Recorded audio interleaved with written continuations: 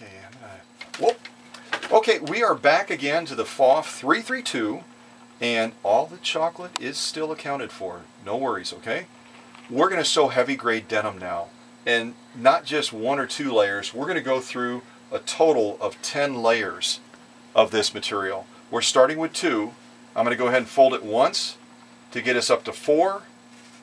Again, we're up to six. Now we're up to eight. And one more time, we're all the way up to 10. I didn't fold it perfectly, but you get the idea. And if I turn it to the side, look at what 10 layers of heavy grade denim actually looks like. That is ridiculous. If you tried this on a contemporary machine, even many vintage machines, you might have parts flying all over the place. But you know what? I went through this machine myself and it sews like this and can sew like this every single day. Follow me down to the needle and see what I mean.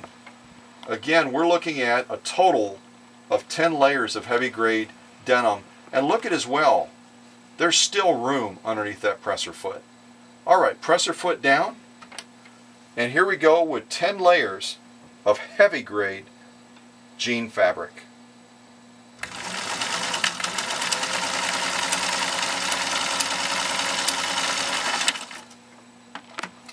All right, did you blink? You're going to have to watch the video again then because this machine just gets the job done so quick, so easy, and at the same time going through that much material produces what I would consider to be a perfect stitch. Let me turn it like this as well and pull it back for the camera so you can see with your own eyes just how gorgeous that top stitch in fact is. Look at that. You know what? There are people that dream of a stitch that good and certainly it would be a dream going through this many layers of denim for most machines. Look at from the side as well. And then look at that lock-in stitch. You know what? When you go through material this thick, there can be distortion on that lock-in. That is absolutely a perfect lock-in stitch. You know what? This machine is all about heavy-duty sewing.